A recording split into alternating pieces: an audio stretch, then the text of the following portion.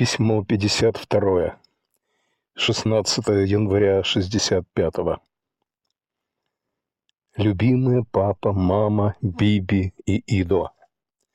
Не помню, писал ли я вам, что мы получили увольнительную на 9 дней. Признаюсь, что за все время я не двинулся за порог дома.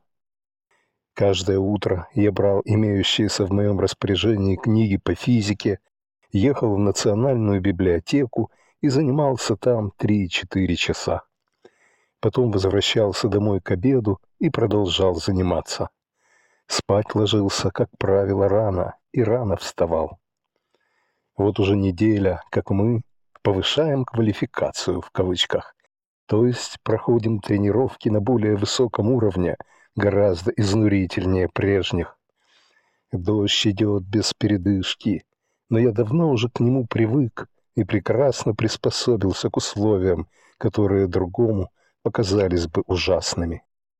С увольнительной вернулся бодрым и веселым, в отличие от других, которые до, которые до смерти скучали, утверждая, что в городе нечего делать. Я провел все время у бармейеров, и они милы, как всегда. Дождь чудом перестал, но воздух по-прежнему насыщен влагой и прохладой.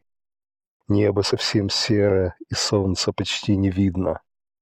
Можно сидеть на улице в кавычках, и я расположился на камне возле одной из пещер Бейт-Туврин и пишу вам это письмо.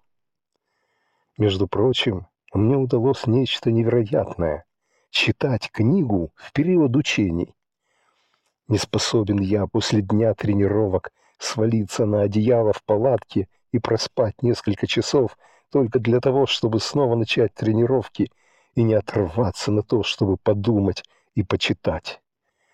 Как-то мне удается урывать время для чтения. В настоящий момент я читаю «Атлант пожал плечами» и продвинулся довольно далеко. Сожалею, что вам трудно разбирать мой почерк, но письма мои пишутся в полевых условиях, бумага на коленях, ручка исключительно скверная. Иорданцы снова стреляют, снова у нас проблемы. Писать пока прекращаю, надо явиться на построение.